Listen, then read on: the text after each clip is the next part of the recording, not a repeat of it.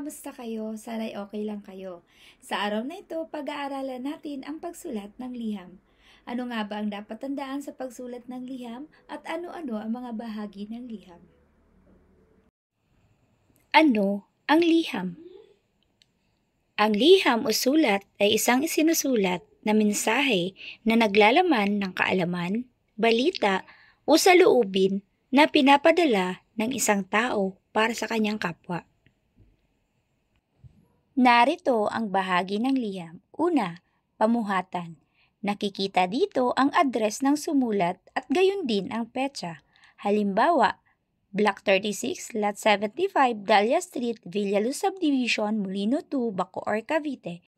Enero 25, 2024. Pangalawa, bating panimula. Ito ay pambungad na pagbati sa sinulatan. Nagtatapos ito sa kuwit. Halimbawa, mahal kong kaibigan. Mapapansin natin may kuwit sa hulihan. Mahal kong, isusulat natin ang pangalan ng iyong sinulatan at marami pang iba. Pangatlo, katawan ng liham. Dito, pinapahayag ang tunay na dahilan ng pagsulat. Halimbawa, sana ay makarating ka sa aking kaarawan. Umaasa akong makakadalo ka sa aking kaarawan. Ito ang katawan ng liham. At pang-apat, bating pangwakas.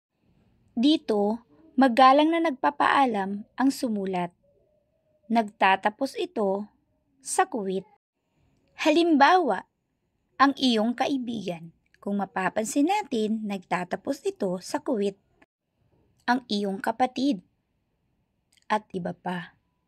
Depende ito kung anong kaugnayan mo sa taong iyong sinusulatan. At panglima, lagda. Dito, sinusulat ng lumiham ang kanyang pangalan. Maaring pangalan palayaw lamang ang gagamitin kung ang sinusulatan ay kaibigan o kakilala.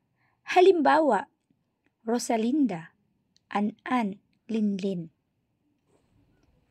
Ang mga bahagi ng liham ay una, pamuhatan, pangalawa, bating panimula, pangatlo, katawan ng liham, pang-apat, bating pangwakas, at panglima, lagda.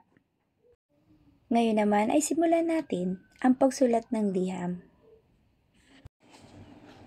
Block 15, Lot 13, Rosal Street, Amaya Subdivision, Bahayang Pag-asa, Bacoor, Cavite. Enero 27, 2024. Ito ang tinatawag nating pamuhatan. Mahal kong kaibigan. Ito ang tinatawag nating bating panimula. Nais kong imbitahan ka sa aking kaarawan ngayong darating na Sabado. Magluluto sila Nanay Linda at Tatay Rodel ng paborito nating ulam na adobong manok. Sana ay makarating ka. Ito ang tinatawag nating katawan ng liham. Ang iyong kaibigan. Ito naman ang tinatawag nating bating pangwakas. An-an. Ito ang tinatawag nating lagda.